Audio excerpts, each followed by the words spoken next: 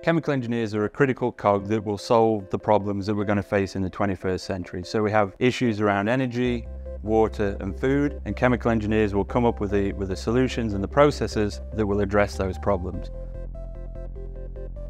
So chemical engineering at Leeds has been offered for over 80 years. We have a long tradition of uh, teaching chemical engineering here in the School of Chemical and Process Engineering. We have an exciting course in terms of the way we deliver it. Our chemical engineering program looks at four different specializations of chemical engineering. So we offer a pathway in process engineering, materials engineering, energy engineering, and nuclear engineering. The pathways that we offer really are the specializations and the expertise of the University of Leeds. So by the time you leave, you're not only a competent chemical engineer, but you have those specialized skills that then allow you to go and transition into those different disciplines of chemical engineering. And I think employers do look at that when they're going through their recruitment cycles. And so one of the great things about Leeds is we also offer not only the technical training, but those professional skills training and broadening of those professional skills to actually make you stand out from the crowd once you graduate. So we have a lot of activities where students can take the learning from the classroom and put it into practice. The program at Leeds is accredited by the Institute of Chemical Engineers. We are a Russell Group university. We rely on our academics actually feeding their research expertise down into our undergraduate program.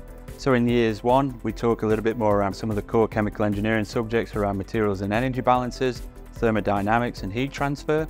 This gives our students that grounding to then go on and do the more challenging subjects as they go on through the years, such as separation processes, chemical thermodynamics, reaction engineering. But alongside that, you also start to build the more what we call the broadening subjects around chemical plant safety, engineering math subjects. And then once you go into the final year, you then start to bring all those skills together. So we start to really get our students practicing like a chemical engineer and working like a chemical engineer through the design projects that we offer from the first year through to the third year.